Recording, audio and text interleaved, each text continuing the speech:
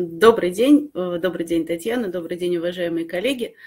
Э, рада вас приветствовать. Сегодня э, тема профилактика стресса. Я немножко представлюсь для тех, кто еще не знаком со мной. Меня зовут Юлия Александровна Федорова. Я кандидат наук, доцент кафедры общей педагогической психологии Башкирского государственного педагогического университета, город Уфа. Э, практический психолог, э, веду работу со взрослыми, с детьми, большой опыт частной практики. И с удовольствием с вами сегодня поделюсь такой психологической концепцией, идеей профилактики стресса. Э, когда мы готовили эту тему и когда мы ее обсуждали, ну, примерно месяц назад, это действительно тема была про профилактику стресса, а сегодня, вот именно в этот день, а, я думаю, что можно говорить не только о профилактике, но и о ситуации совладания с острым стрессом и ситуации того, как мы себя чувствуем, когда поднимается тревога. Это ведь тоже большой фактор стрессовый.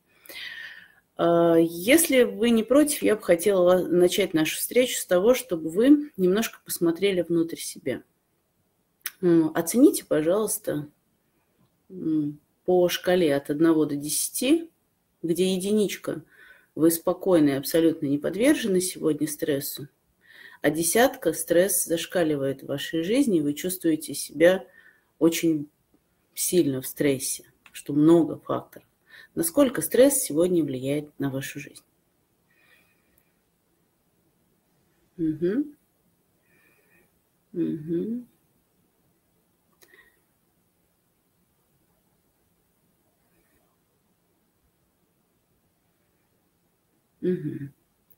Ну, все-таки в целом я вижу, что картинка средняя, и десяточки, конечно, присутствуют, и девяточки, если они есть, а, то, безусловно, вам нужно прежде всего тех, у кого 8, 9 и 10, уже сейчас включиться в то, чтобы максимально помочь себе и использовать все техники, которые мы сегодня с вами обсудим, а, для того, чтобы в ситуации стресса помочь прежде всего себе и совладать с внешними обстоятельствами, которые оказывают это влияние. Но в большинстве все-таки я вижу, что много у кого есть даже единички и есть циферки и 5-6, средние значения.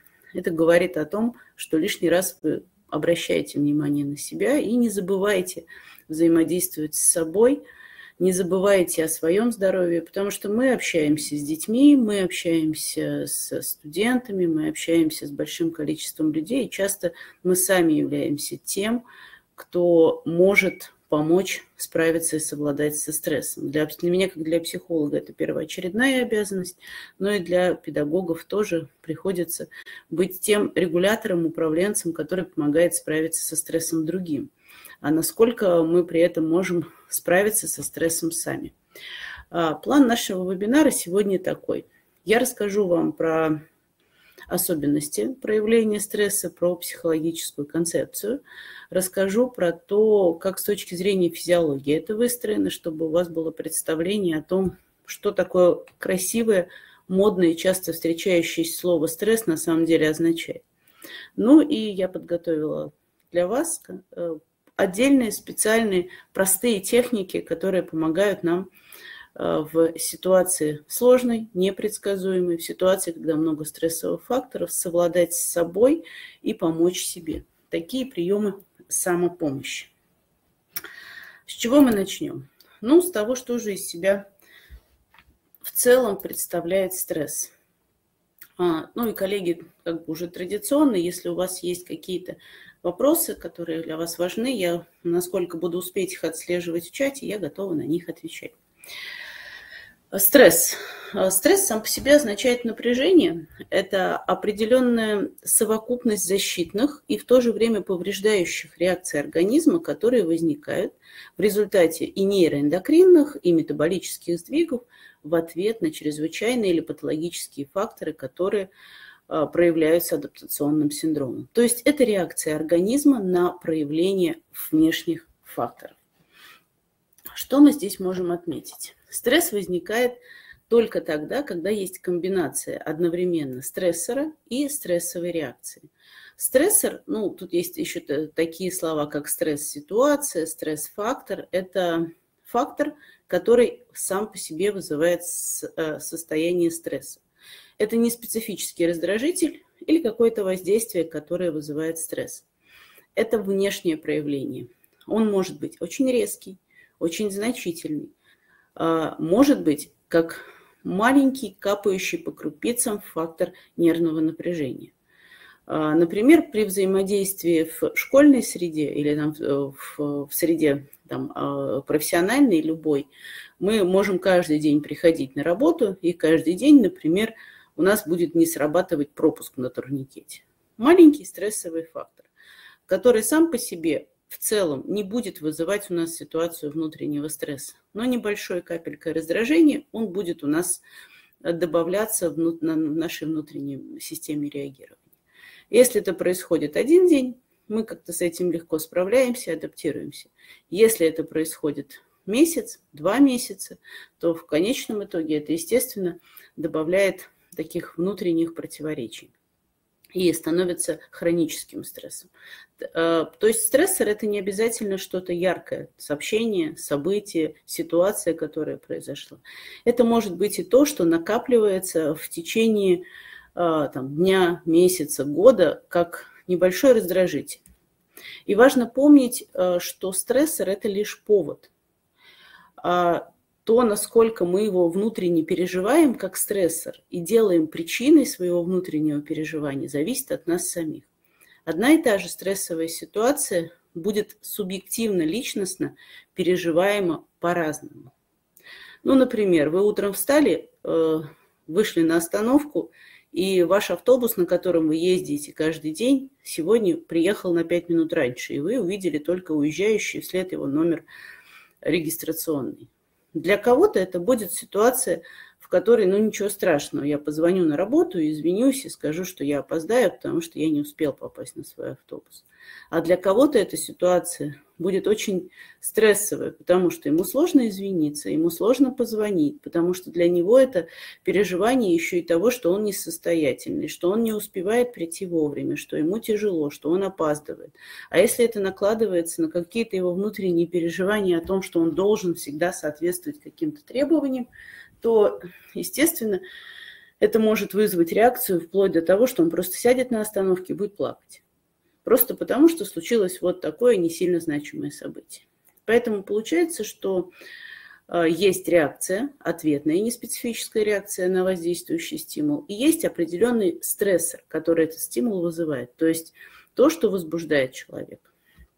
Ответ у каждого может быть разный абсолютно.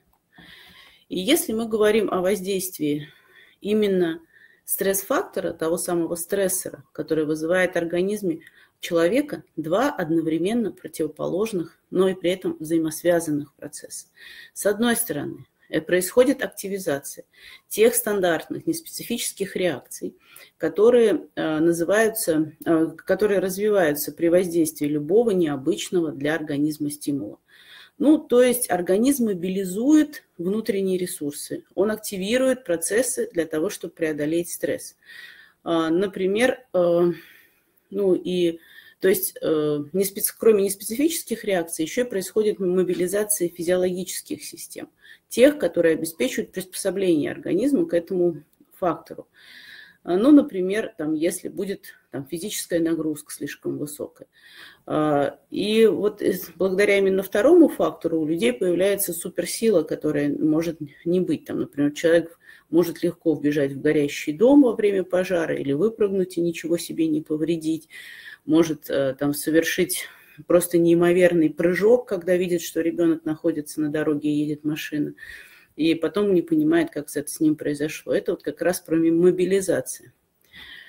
И э, это все способы, э, это те процессы, которые возникают в организме на воздействие стресс-фактора. В зависимости от интенсивности э, стрессовой реакции э, у нас есть три зависимости. Да? Она зависит от особенности, что это за стресс-фактор, она зависит от значимости, насколько этот стресс-фактор значим для конкретного человека и для конкретной личности. Ну и зависит еще от функционального состояния человека до воздействия. Вот смотрите, если человек здоров, э, устойчив, эмоционально устойчив, у него очень хорошая стрессоустойчивость. И он встречается с каким-то стрессором, то пережить его легче. Но если он ежедневно находится в состоянии небольшого стресса, в состоянии, когда его так или иначе есть внешние раздражители в глобальной среде, как, например, в мире или в стране, в городе, где, например, очень большая загруженность, там пробки ежедневно. Или же, например, это происходит в его профессиональной среде. Или стресс-фактор, который действует в семейной среде, в личной атмосфере. Да, например, там все неплохо, но э, очень сильно там болеет кто-то из близких родственников, и приходится все время беспокоиться о его здоровье. Это постоянный стресс, потому что ждут звонка из там, больницы о том, как его состояние, или там от родителей, как там э, происходит переживание. Это такой ежедневный стрессовый фактор, который э, нарушает функциональное состояние человека. И тогда новый фактор, любой, который приходит как известие, любой, э, который случается в жизни человека, он становится более сильно воздействующим, чем на того, у кого это состояние было более стабильное. Это связано и с физиологией, и с физикой, и с психологией. То есть это и психологическое состояние, эмоциональное состояние, это и состояние физическое, прежде всего, состояние нашего тела. И тут нужно отметить, что именно наш организм, наше тело а, больше всего помогает нам в взаимодействии, больше всего помогает нам в реакции на стресс. Под воздействием стресса вы точно чувствуете слабость, усталость и другие физические реакции, о которых я сейчас вам расскажу. Стресс вообще бывает не всегда плохой. И стресс – это не слово, от которого нужно избавляться. Стресс бывает ау, э, аустресс, и стресс бывает дистресс. Аустресс – это тот стресс, который вызывается положительными эмоциями, который может быть не сильным стрессом. Прыгнув с тарзанки в речку, искупавшись в холодной воде, вы испытываете стресс. Но после него мобилизуется организм, активируются внутренние резервы, улучшаются психические и физиологические реакции, и вы становитесь более бодрым, более веселым, более э, жизнерадостным. То есть появляется прилив сил и позволяет ну, э, работать на более высоком уровне. Люди, стремящиеся к экстремальным видам спорта, часто стремля, стремятся именно к такому виду стресса. Стресс, который дает им положительные эмоции и который дает им такую некую встряску организма, после которого они чувствуют огромный прилив жизненных эмоций. Есть же вторая составляющая, про которую мы больше должны уделить внимание и которая более разрушительная. Это дистресс. Это разрушительный процесс, который дезорганизует поведение человека, который ухудшает протекание тех э, психофизиологических реакций, которые есть внутри нашего организма. И тут разрушительная сила для нашего организма и может привести к тяжелым заболеваниям, может привести к, к сложностям. Что же способствует и тому, и другому? Для аустресса и для дистресса есть свои факторы. Факторы, которые способствуют возникновению дистресса, это большая длительность воздействия стресс-фактора а, или очень высокая интенсивность. Негативная субъективная оценка, то есть я понимаю это как очень ужасную ситуацию лично для меня.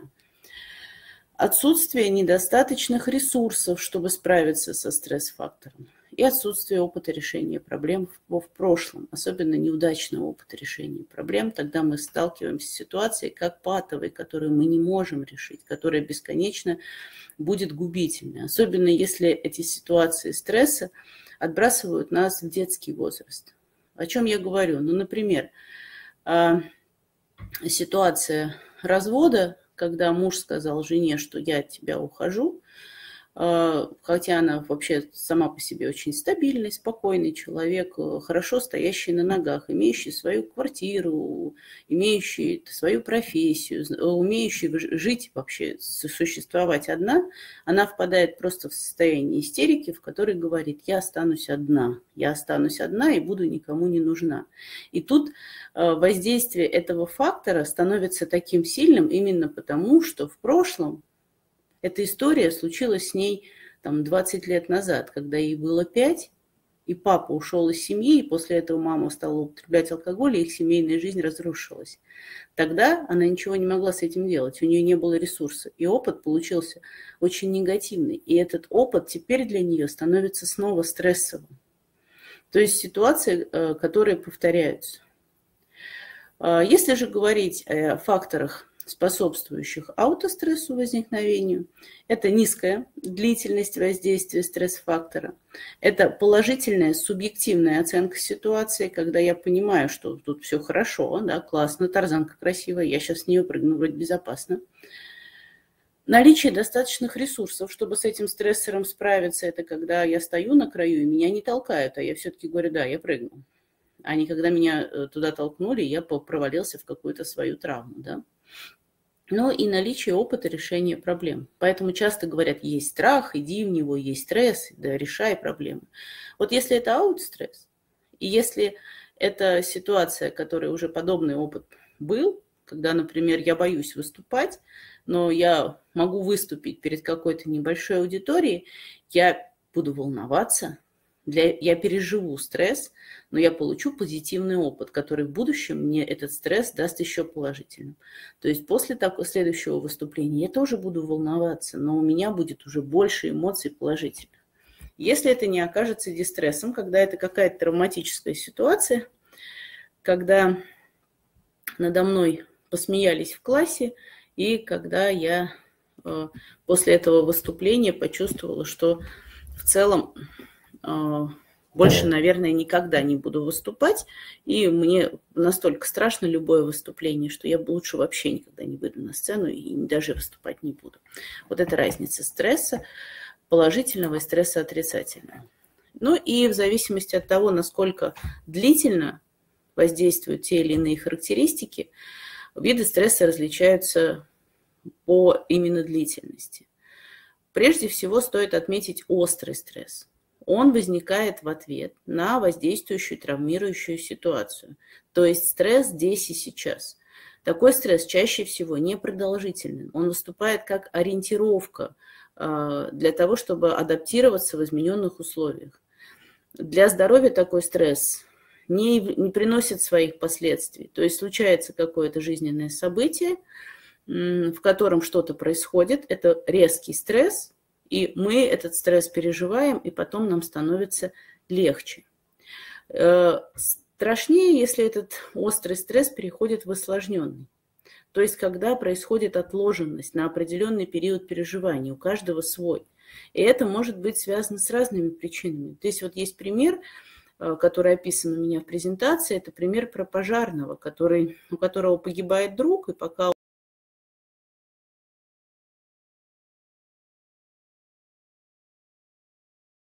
вынужден заниматься спасением всех остальных, пока он вынужден быть мужчиной и заниматься похоронами, пока он вынужден э, быть сильным, вот эти там несколько недель он находится в отсутствии утраты. Я часто встречаюсь с такими ситуациями, когда отложенный стресс может быть отложен на года, когда приходит молодая женщина и говорит, я похоронила своего отца два года назад, но я до сих пор даже не могу появиться у него на кладбище. Я нахожусь в состоянии такого страха при соприкосновении с этой темой, я ни с кем не разговариваю. Я спрашиваю у нее, ты хоть поплакать-то смогла? Она говорит, нет, мне нельзя было плакать. Плакала мама, и мне было очень... Я должна была за ней присматривать. Ей было очень тяжело, и всей семье было очень тяжело. У меня младшие братья, сестры.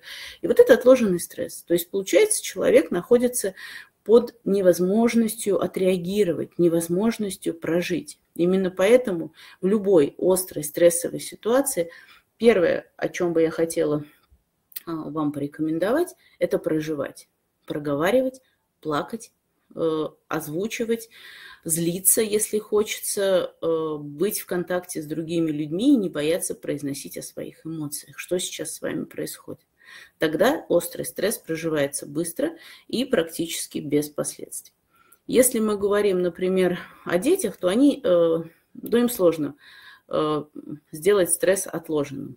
И вообще любой способ соприкосновения с большим стрессовым фактором для них это либо реакция сразу же, да, то есть ребенок плачет, ребенок расстраивается, и потом он об этом забывает, либо он немного замораживается, и потом в какой-то момент эта история может открыться, и потом ему хорошо там на вашем кружке, вы сидите все на коврике, играете, и он говорит, а вот тут случилось вот так.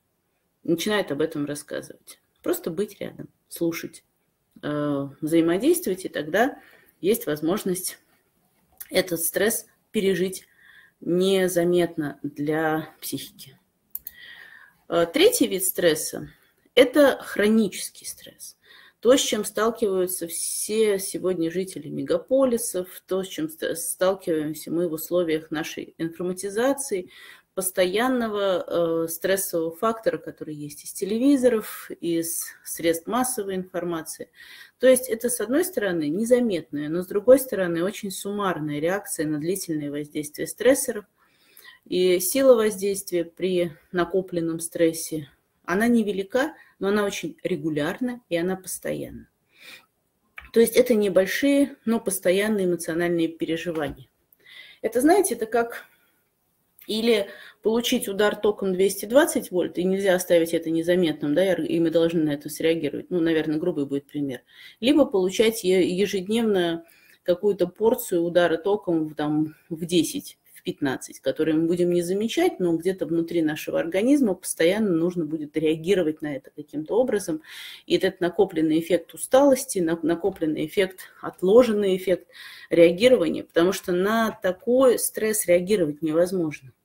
То есть если мы каждый день по чуть-чуть получаем небольшую порцию стресса, то у наш организм находится в состоянии мобильности постоянной, он не может расслабиться, но и в то же время он не может среагировать как таковой. Вот. Ну и чаще всего именно такие эмоциональные напряжения вызывают потом болезни связанные с мочекаменными, диабетом, с сердечно-сосудистыми, с аллергическими реакциями, с бронхиальной астмой, все то, что сегодня относится э, к признакам психосоматических болезней. А четвертый вид – это травматический стресс. Это состояние, которое возникает у человека, который пережил ситуацию, выходящую за рамки обычной человеческой. Это может быть угроза жизни себе, близким, это может быть участие в боевых действиях, насилие, стихийные бедствия и так далее. Травматический стресс и последствия от него – посттравматический стрессовый синдром, который э, в психиатрии признается он возникает, когда есть угроза жизни и отсутствие возможности контролировать ситуацию. То есть у человека есть ситуация беспомощности. Это ситуация близкая к животному стрессу, связанному с невозможностью а, сделать что-либо, когда есть угроза жизни и смерти, такой базовый животный э, стресс. Э, экстремальные ситуации тоже могут быть э, характеризоваться таким психотравмирующим воздействием. А, особенно если это приводит к какой-то дезадаптации человека. То есть если он а, ну, не готов был морально к там, такой ситуации и так далее. Ну и, соответственно, кроме э, замирания реакции, мы можем у, травматического стресса увидеть достаточно осложненные потом последствия. Агрессия, депрессия, тревожность, аутизм, то есть это все то, что выходит за пределы нормального реагирования стресса. Ну и пятый вид стресса, который мы встречаемся ежедневно, особенно преподаватели, педагоги, воспитатели, это стресс, который возникает в трудовой деятельности. Он связан и э, его проявления, которые мы увидим, будут постоянные ощущения внутреннего дискомфорта, снижение производительности, нежелание работать, утрата ценностных мотивов к труду. То есть, когда уже непонятно, для чего ты это делаешь, мотивация снижается. Разочарование в собственной деятельности, возникновение психосоматических заболеваний, устойчивых депрессивных состояний. Ну и в стадии развития стресса мы можем выделить три последовательных стадии, как же он развивается. Вначале происходит реакция тревоги, страшно. А, как пом... вот вижу ваш вопрос и, наверное, сразу на него отвечу. Как помочь ребенку справиться со стрессом, связанным с потерей любимой бабушки? Если ребенок с вами об этом разговаривает, если вы для него близкий человек, а, то слушать, ну и, и делиться своими эмоциями. В ситуации смерти мы, взрослые, очень часто стараемся ребенка оградить от этого. То есть мы не даем ему возможность пережить. Например, у меня была ситуация, когда, прошу прощения, пришли родители, которым мальчику 7 лет, и ему вот он прям снится бабушка, и стали, когда говорить об этой ситуации, то родители признали, что бабушка умерла два года назад, где ребенок с ней очень хорошо контактировал, и они не смогли сказать, что она умерла, и сказали, что она ушла на небушка, и теперь она оттуда за ним наблюдает. И в работе с ребенком я могу поделиться с вами, что вышло очень много обиды на бабушку, что она его бросила, непонимание, почему любимый человек от него ушел и ощущение предательства. Поэтому говорить с ребенком о смерти нужно, и нужно делиться своими эмоциями, что я переживаю, что сейчас больше этого человека с нами нет. Но уже как это сделать, э, это зависит от той религиозной концепции, в которой вы живете, от того, как это принято в традициях вашей семьи. Можно говорить и о том, что человек смертен, и о том, что он уходит в другой мир. Все зависит от того, каких традиций вы придерживаетесь. Но с другой стороны, в любом случае ребенок должен быть вместе с вами, он должен горевать. Понятно, что его не обязательно там включать во все мероприятия. Но вот сейчас, когда бабушка ушла, то поговорить о бабушке и признать, что да, тебе, наверное, очень грустно, и там я грущу, или там, если это для вас близкий человек, если это ребенок в вашем классе, то просто поговорить о том, что люди уходят, и что у всех есть. У меня была бабушка, которая тоже не стала, и я тоже грущу, о ней, и это, это очень переживательно. Я бы дала такие рекомендации. Если ответила, то продолжу по программке. И э, как раз вот три общих стадии, да, три стадии. Общая реакция тревоги, потом организм пытается сопротивляться, и потом наступает истощение. Э, соответственно, в, когда у нас происходит общая тревога, традиционно там есть фаза шока и противошока. Э, как только организм воспринимает э, значимые изменения условий, э, выбрасываются гормоны тревоги, сердце бьется сильнее, и потом на смену этой шоковой фазе приходит фаза противошока.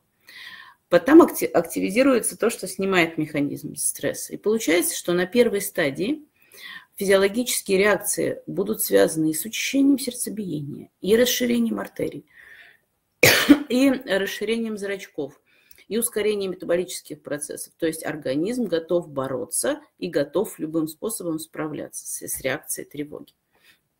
Так, я вижу еще вопрос. Сейчас я закончу со стадиями, чтобы как-то это было последовательно, и отвечу. А, на второй стадии это повышение общей резистентности, когда сопротивляемость организма возрастает. Эта стадия наступает, если слишком сильный фактор, если слишком долго продолжается воздействие. То есть э, задача приспособиться к тому, что, мы сейчас, что организм сейчас находится в этом стрессе. Ну и на третьей стадии происходит расстройство механизмов саморегуляции организма. И, получается, нарушаются обменные процессы, приводит к снижению общей сопротивляемости организма, и это приводит к серьезным нарушениям функционирования. Все три стадии, они достаточно заметны в фазе острого стресса, но они практически незаметны в хроническом, в профессиональном стрессе, который мы наблюдаем э, э, регулярно по капельке. То есть эти стадии, они незаметно протекают из одной в другую. Отвечая на ваш вопрос. Так, коллеги, я тут картинку немножко сдвинула сейчас. Ну, секундочку. 76 лет. Внезапно умер единственный сын. Замкнутость боится, что напрягет окружающих. Рядом нет родных и близких. Как помочь в такой ситуации? Я думаю, что в такой ситуации человек чувствует свое одиночество и ненужность. И я бы порекомендовала быть рядом. Разговаривать, отвлекать на какие-то другие темы а, для нее сейчас очень сложно будет найти смысл жизни, а в этом будет заключаться, будет она жить дальше или нет, захочет она выходить из этой ситуации, то есть насколько она с ней сможет справиться.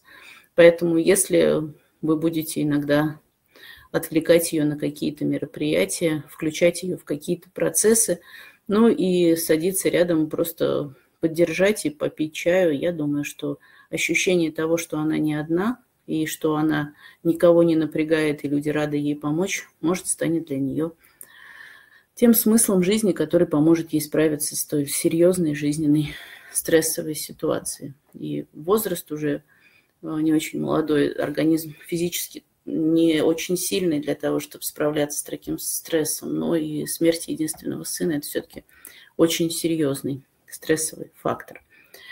Вот, э, динамика стресса, все о том, о чем я рассказала, тревоги, резистентности, стадии истощения. Почему же появляется стресс? Какие же причины? И тут же в них же есть решение. Во-первых, это влияние окружающей среды. Мы Э, правда, живем в ситуации, когда у нас очень много стрессовых факторов.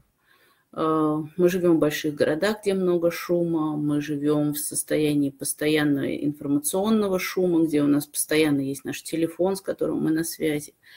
Большие нагрузки, где есть физические мышечные нагрузки и физиологические, связанные с травмами, связанные с расстройствами, с болезнями.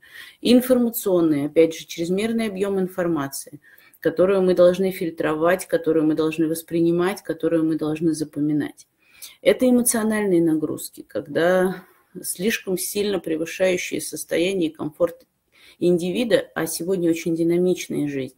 Это еще и уровень эмоционального насыщения. При взаимодействии с людьми, при общении с людьми мы все время находимся в высоком эмоциональном напряжении. Это и нагрузки рабочие с теми трудностями, конфликтами, не, не всегда комфортной средой в трудовом коллективе. Также э, к стрессам ведет монотония. Это постоянная однотонность в наших общении, э, в нашем взаимодействии. Это одно и то же. Это тот самый день сурка, от которого мы очень устаем. Наличие повседневных раздражителей, когда нет каких-то удобств, мелкие ссоры, дискомфортная психологическая атмосфера, там, недостаток транспорта или недостаток э, там, возможности вовремя доехать, затянувшиеся ожидания чего-то. Э, отсутствие привычных желаемых социальных связей, изоляция, нарушение эмоционально значимых межличностных связей. Мы предыдущие два года были очень сильно социально изолированы, и эта ситуация очень сильно добавило стресса и нарушение уже имеющихся эмоциональных связей, которые мы выстраивали, тоже сильно сократилось. Тяжелые жизненные ситуации, которыми мы сталкиваемся, это трудности, которые переживают наши близкие, которые переживают мы сами, болезни, это э, изменения на работе, стремление изменений каких-то условий жизни. А, переломные этапы жизни, которые закономерны, они высокострессовые. Это такие, как и свадьбы, и развод, и рождение детей, и уход детей из дома, и их обучение, и обучение свое собственное, и какие-то ситуации испытаний. Это все тоже причина стресса. А, материальная необеспеченность, как можно считать, например, материальный недостаток – и постоянная необходимость добычи денег, поиска способа заработать – это хронический стресс. То есть это то, что постоянно является раздражающим фактором. Ну и то, в чем мы сейчас все находимся, это ситуация неопределенности или как конкретные угрозы, которые тоже добавляют нам стресса. Стресс проявляется на разных уровнях и эмоционально, и поведенчески, и физиологически, и интеллектуально. А, на эмоциональном уровне. Это и мрачное настроение, и негативные эмоции, и изменения в характере, в том числе интровертирование, когда мы меньше общаемся с людьми, меньше выстраиваем контактов, и э, различные неврозы, которые могут возникать. С точки зрения поведения, э, это и нарушение психомоторики, и ритм дыхания. Мы вообще заметьте свое дыхание, насколько спокойно и ровно вы дышите ваш вдох и выдох вы можете наблюдать, не является ли он отрывистым. Избыточное напряжение в мышцах, когда вы можете просто аккуратненько лечь на спину, подложив какой-нибудь валик под поясницу и полежать, понаблюдать, какие мышцы у вас вообще напряжены, а какие расслаблены. Не слишком ли много у вас ответственности, например, и э, мышцы часто плеч, шеи зажаты и так далее. Это тоже все связано с ситуацией стресса. А, в поведении также это изменение образа жизни, нарушение сна очень часто проявляется, снижение производительности труда и э, связанное с конфликтностью, которая возрастает, и уровень внутренней и внешней агрессивности. А, с, физиологи... с точки зрения физиологии это и боли в сердце, в голове, то есть субъективно определяемое как ощущение стресса, и в то же время это объективно определяемые изменения, которые связанные с артериальным давлением, и с мышечными напряжениями, и с трудностями пищеварительной системы. Очень часто пищеварительная система легко реагирует, быстро реагирует на стресс. Ну и физиологические реакции, связанные с утомляемостью, снижением иммунитета, недомоганием, изменением массы тела, резким похудением или набором массы тела. Заедать стресс – это тоже такая известная история. С точки зрения интеллектуализации, интеллектуальных функций тоже стресс влияет и на внимание, и на мышление, и на память, и вообще нарушение продуктивности в целом, особенно если это люди, занятые умственным трудом. Э, в простой физиологической реакции три реакции на стресс. Это бей, беги и замри. Они связаны именно с острым стрессом, и мы легко на них реагируем. То есть мы либо даем сразу сдачу, что-то делаем в какой-то ситуации, либо пытаемся от этой ситуации убежать. Это такая реакция хищника, реакция жертвы хищника и реакция, знаете, опоссума. Вот опоссум, он замирает. А, реакция «замри», она свойственна человеку больше. В чем опасна реакция «замри» в ситуации стресса? Потому что реакция «замри», она хороша с физиологией и вообще с точки зрения выживаемости для индивида только когда замирает животное, только тогда, когда ситуация несовместимая с жизнью. Он знает, что он не сможет драться, он не сможет убежать, тогда он притворяется мертвым, и хищник не э, нападает на него, потому что, скорее всего, этот хищник не ест мертвое мясо. Он боится употреблять, ну, или там не, не принято в его пищевом рационе есть падальщину. И тогда это есть шанс, прикинувшись мертвым, через какое-то время встать. И как только эта реакция «замри» заканчивается, животное встает. Если вы посмотрите какую-нибудь программу в мире животных, его начинает очень сильно трясти.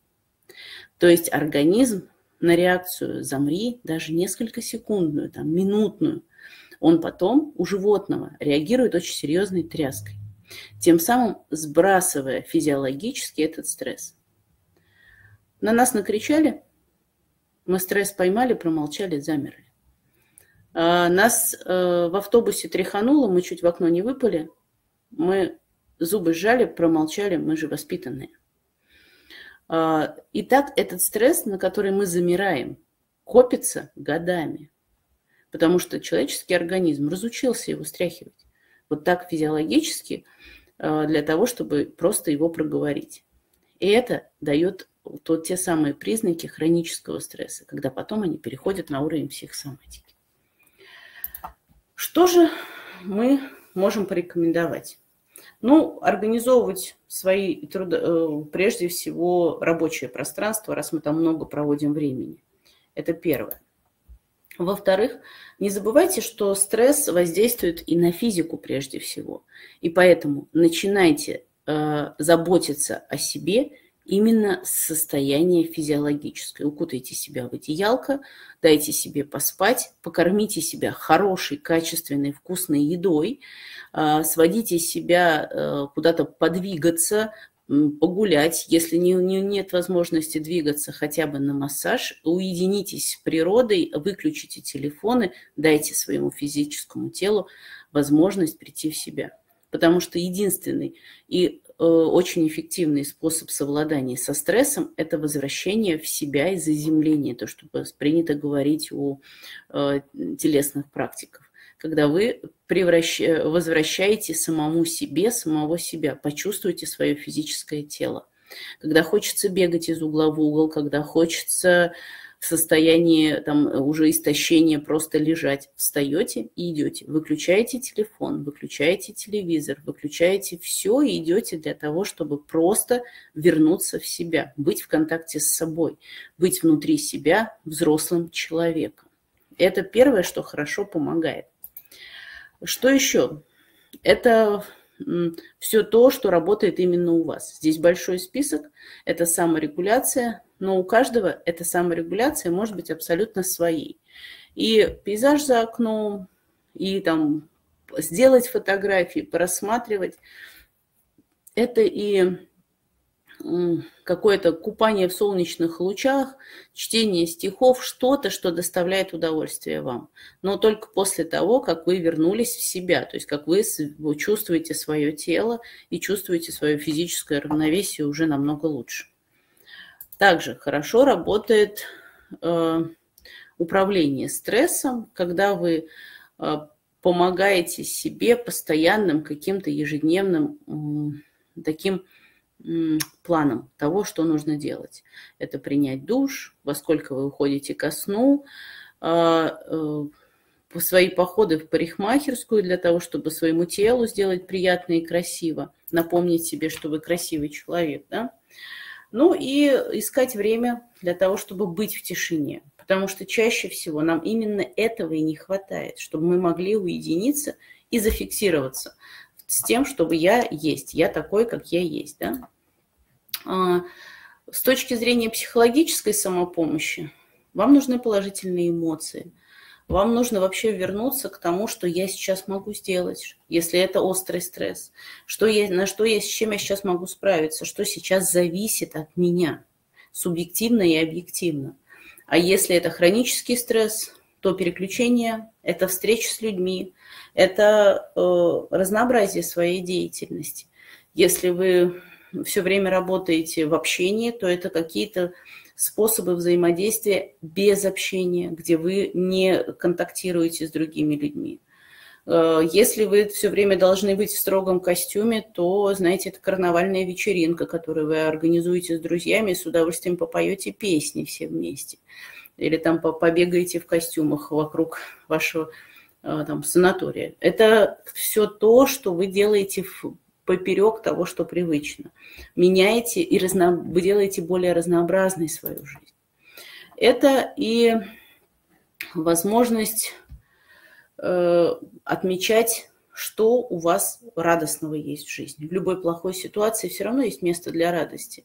То, что вам нравится, то, что вам нравится на уровне запахов, взглядов, то, что вас радует на уровне ощущений, на уровне ваших внутренних каких-то с того, что вы слышите. Не знаю, сходите в зал органной музыки, если вас, вам это доставляет удовольствие, или в театр. А, это и все то, что вы можете себе позволить сделать прямо сейчас там, посидеть в кафе с подругой или с другом, почитать э, какую-нибудь приятную книгу, не по профессиональную, пообщаться с знакомыми, по, погулять по незнакомым улицам, сменить картинку, поехать хотя бы в соседний город или поехать куда-нибудь, где есть э, там, уединение, лес, природа, и просто погулять со своими там, близкими, с друзьями. Это даст возможность переключиться. А не забывайте о своем внешнем виде, когда вы чувствуете себя красивым. У женщин вообще антистресс – это сходить на бьюти-процедуры, на ноготочки, да? доставить себе удовольствие и почувствовать, что мир красив через вас.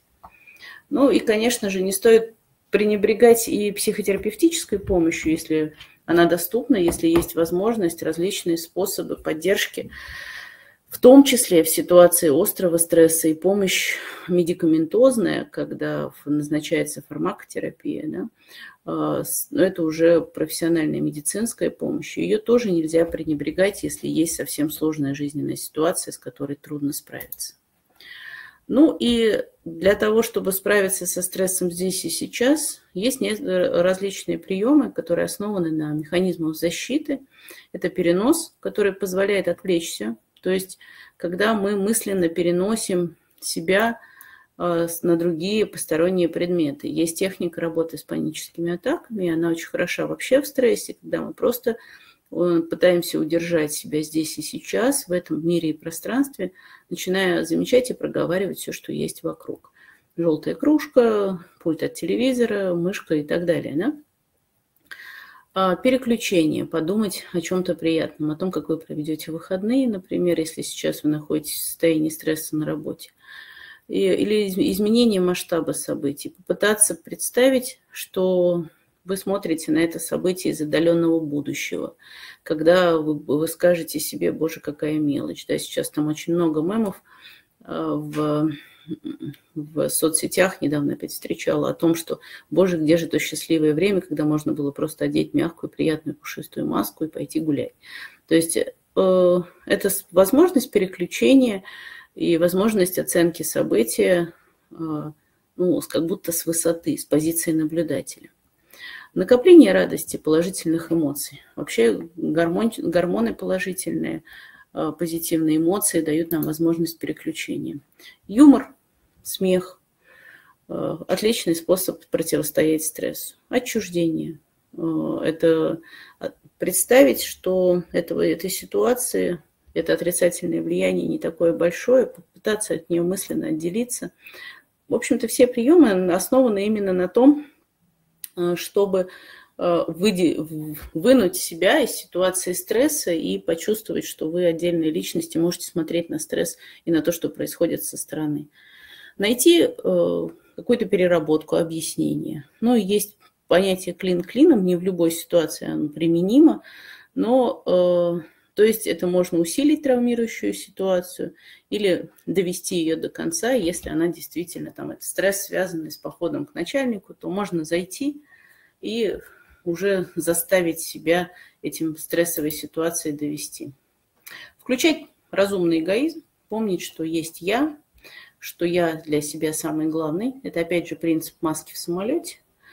А, физическая нагрузка, включение любимых видов деятельности. Когда у меня бывает ситуация очень серьезного стресса, я просто заставляю себя бросить все, взять э, теплый плед и сесть, рисовать картину по номерам. Там прям творческого порыва мало, но так это как решение мозаики. Меня очень отвлекает, и я очень хорошо переключаюсь. Работает. А, доверять своей интуиции, доверять своим предчувствиям. Опять же, доверять себе и, может быть, очерчивать какие-то барьеры мысленные о том, что я выделяю себя сейчас. Опять есть техники э, конуса, когда вы рисуете вокруг себя мысленно защиту – на каких-то элементарных моментах помогает просто, опять же, вернуться в себя. Вот, ну и простые рекомендации. Ставьте цели. Когда вы идете к целям, стрессоры не так сильно воздействуют. Улыбайтесь, э, побольше физических нагрузок, э, проговаривать. Не забывайте о том, что разговор по душам, вообще возможность понимания, что я не один, она помогает. Пытайтесь не взваливать на себя ту работу, на которую у вас не хватит времени, просто выключите себя э, того внутреннего отличника, который точно хочет сделать все. Не забывайте давать себе возможность насладиться успехом, тем маленьким достижением, которые у вас есть. Игнорируйте мелкие неприятности. Есть такая фраза «Дарлы не находится на мух». Э, будьте более оптимистичны, постарайтесь дать себе возможность на положительные эмоции, настрой. Поменьше себя ругайте и упрекайте, для этого есть другие.